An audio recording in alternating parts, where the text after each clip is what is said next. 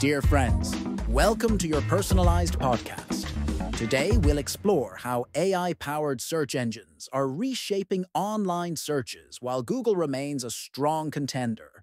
Delve into the entrepreneurial journey of creating new desires and imagining new worlds, and discuss the essential steps in shipping successful projects in big tech companies. Join us for insights on these transformative topics. Imagine waking up to a world where you can find exactly what you're looking for on the internet without sifting through countless web pages. This is the vision behind AI-powered search engines, which are reshaping the landscape of traditional search. For decades, Google has been the unrivaled giant in the search industry, thanks to its vast repository of data and sophisticated algorithms. But now, with the rise of AI technology, the question arises, Will AI redefine the way we search, or is Google's dominance here to stay? To understand this shift, we need to look back at how Google became synonymous with internet searches. It wasn't the first on the scene. Early search engines like Archie and Yahoo had their moment. However, Google's founders, Larry Page and Sergey Brin, introduced an algorithm known as PageRank, which revolutionized how search results were ranked by considering the number and quality of links to a page. This approach made searches far more relevant and efficient, setting a new standard for how information was retrieved online. Today, Google handles over 8.5 billion queries daily, a testament to its central role in our digital lives. Its market share is impressive, holding steady at around 85% between 2014 and 2024. Yet as AI technology advances, the search landscape is beginning to shift. Companies like Microsoft and newer entrants like DuckDuckGo and Neeva have attempted to challenge Google's throne, but they've struggled to capture significant market share. Despite DuckDuckGo's commitment to privacy and Neeva's ad-free model, they've barely made a dent in Google's dominance. The emergence of AI-powered search engines presents a new twist in the tale. OpenAI, known for its generative AI models, has launched SearchGPT, which integrates AI into the search process, providing more organized and context-rich search results. Unlike traditional search engines that present a list of links, AI-powered search aims to deliver concise summaries and relevant insights directly. Imagine asking a complex question and receiving a well-researched answer, complete with source citations for further exploration.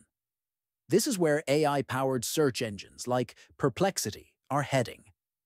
They are designed to handle intricate queries and provide summaries that save users time and effort. While AI search engines excel at synthesizing information, they face challenges in areas where traditional search shines. For instance, when you want real-time information, like today's weather or sports scores, traditional search engines often provide quicker and more accurate results. Navigational searches, where users seek specific websites, are another stronghold of the traditional search. Google's ability to deliver the correct link in the first result is unmatched, whereas AI platforms often offer a stream of related information instead. Another layer to this evolving saga is the role of third-party cookies. Google's recent decision to delay their removal from Chrome highlights the tension between maintaining ad revenue and adapting to privacy concerns while other browsers like Safari and Firefox have blocked third-party cookies, Google's hesitance suggests a cautious approach to preserving its lucrative advertising model. This decision could have implications for both traditional and AI-driven search engines, as third-party data plays a crucial role in tailoring search results and advertisements. As AI technology continues to evolve, we can expect traditional search engines to integrate AI capabilities to enhance their offerings. The future might see a blend of AI insights with traditional search functions, creating a hybrid model that leverages the strengths of both worlds. For marketers, this shift will mean moving beyond keyword optimization to focus on understanding user intent and context. In essence, AI-powered search engines are not here to replace traditional search, but to complement it. As users, we stand to benefit from a more nuanced and efficient search experience, one that combines the depth of the traditional search with the precision of AI. The digital landscape is evolving, and while AI is unlikely to dethrone traditional search entirely, it will undoubtedly reshape how we interact with the vast sea of information online. While AI-powered search engines are redefining how we find information, let's explore how entrepreneurs create desires for innovations that the world didn't know it needed.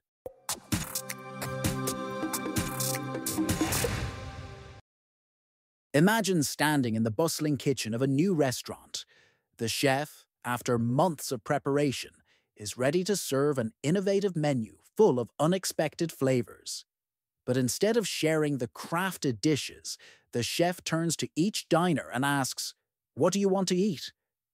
This question, simple as it may seem, often leads to predictable answers, leaving the chef's creative potential unexplored. This scenario highlights a curious paradox in entrepreneurship. People often don't recognize what they want until it's shown to them. This is the essence of groundbreaking innovation. Many startups operate under the mantra, make something people want. It's a sound piece of advice, yet it can lead to an exhausting pursuit of market research, focus groups, and surveys, all aimed at unearthing existing needs. However, the uncomfortable truth is that most revolutionary products don't just meet existing demands. They create entirely new desires. Consider this. Before the iPhone, who needed a pocket-sized computer? Before Airbnb, who was eager to stay in strangers' homes? And who felt a need to share 280 character snippets of thought before Twitter?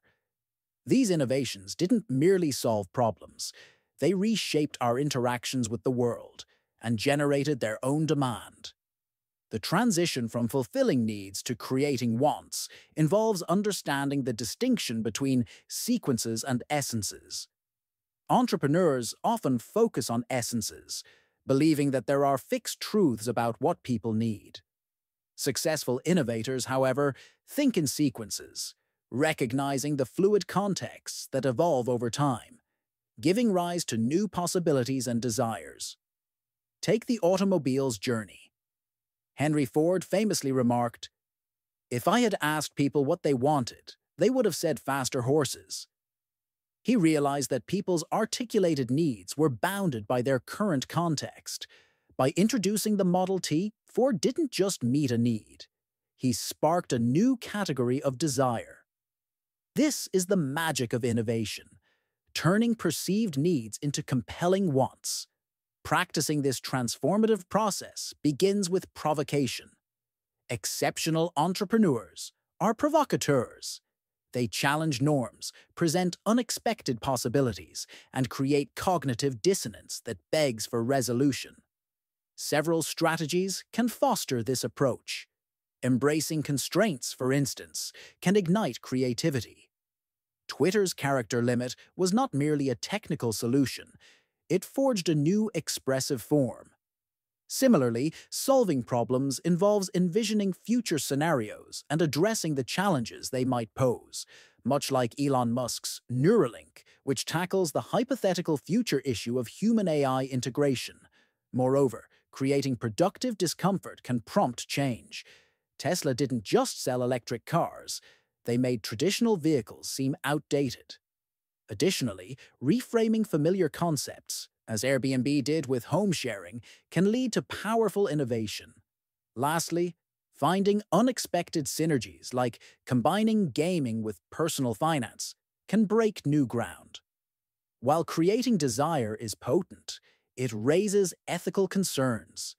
Is it manipulation to generate artificial wants? This question underscores the importance of ethical consideration in innovation. Creating desires should align with genuine human well-being. It's essential to ask whether a new desire enhances lives, empowers rather than exploits, and consider the long-term consequences. The aim is not to manipulate, but to illuminate new possibilities, expanding choices rather than limiting them. Another intriguing truth is that scalable ideas often originate from something initially unscalable. Facebook started as a Harvard network, and Amazon began with books. This initial small scale allowed these companies to craft unique experiences that generated demand as they expanded. Entrepreneurs faced the challenge of creating something unique, yet universal enough to scale. The solution lies in finding the human element that ties a niche offering to a wider audience.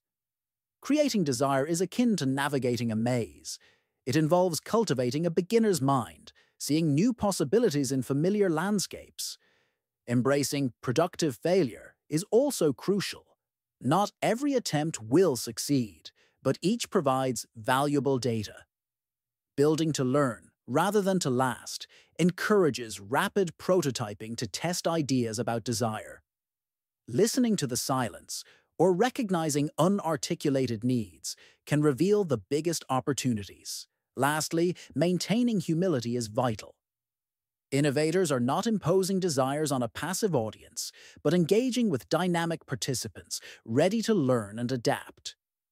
Ultimately, the most successful entrepreneurs do more than create products. They forge entire worlds.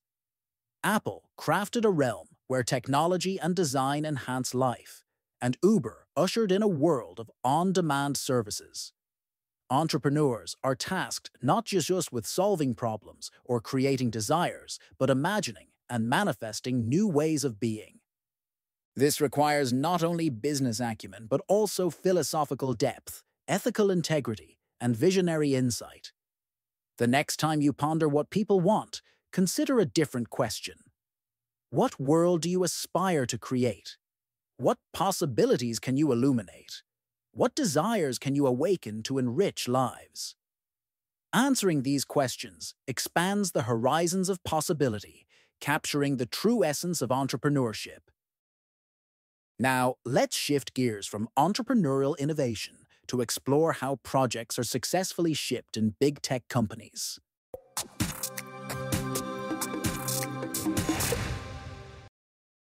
Imagine this. You're part of a bustling tech company where ideas are constantly being transformed into tangible products. You're excited, jotting down notes on a new project, gearing up to write the necessary code. But hold on a second. There's more to this than just coding. Let's explore the art of shipping a project in a big tech company, an often misunderstood yet essential skill. Shipping a project is not just about writing impeccable code or ticking off tasks on a to-do list. It's about ensuring that the entire project, from conception to completion, reaches the finish line. The default state of a project is stagnation. It might get delayed, abandoned, or released prematurely with flaws. Shipping is the act of moving a project from this stagnation to a successful launch, a task that requires dedication, and a singular focus. Many engineers fall into the trap of assuming that once the code is written, the project is ready to go. This misconception is common because shipping isn't about the technicalities alone. It's about managing the project effectively and ensuring all aspects align with the company's goals. The most successful projects usually have one dedicated individual, often called a technical lead or a directly responsible individual who takes ownership and guides the project through its life cycle. So, what does it mean to ship a project in a large tech company? It's more than deploying a system or making a feature available. Shipping is a social construct within the company. It happens when the key stakeholders, your managers, VP or CEO, acknowledge and celebrate the project as completed. Without this recognition, no matter how well the system works or how much users love it, the project isn't considered shipped. The primary job of someone leading a project is to ensure that the company's leadership is satisfied with the outcome. This satisfaction could stem from various motivations, generating revenue, expanding the user base, or fulfilling the wishes of an influential executive. Understanding these motivations is crucial. For instance, enterprise features may not need a flashy interface but must meet specific requirements. Conversely, consumer-facing features need polish and user-friendliness. Communication is key. Leaders trust you to provide estimates, answer questions, and identify potential issues. They lack the technical context that you have, so maintaining their trust is vital. This means keeping them informed, projecting confidence, and demonstrating competence. It's more important to communicate effectively than to stick rigidly to deadlines or ensure a bug-free launch. If issues arise, addressing them confidently can even enhance your reputation, much like a hero who resolves a crisis and gains admiration. Now, while you focus on shipping, the technical aspects still matter. Problems can arise from unexpected corners, technical, legal, or logistical. Maybe a system component can't handle the traffic, or legal restrictions apply to some data. Handling such issues requires a deep understanding of the system and the ability to pivot quickly with solutions that don't derail timelines. One effective strategy is to deploy early and often. This approach allows you and others to identify potential problems before they escalate. Feature flags and staging environments can facilitate early testing and feedback. When you ask yourself, can I ship this right now?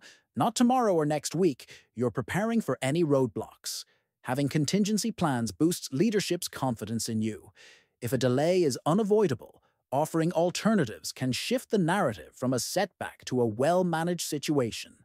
Deployment fears are natural, but the key is to confront them by deploying as early as possible, especially for the most daunting changes. In essence, shipping a project requires making it your primary focus.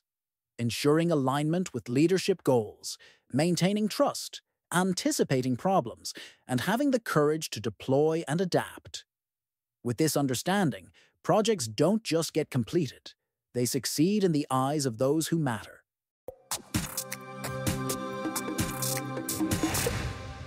We've explored how AI-powered search engines are reshaping the search landscape, the entrepreneurial journey of creating new desires, and the intricacies of shipping projects in big tech. Thanks for tuning in today. Stay tuned for more updates. Dear friends,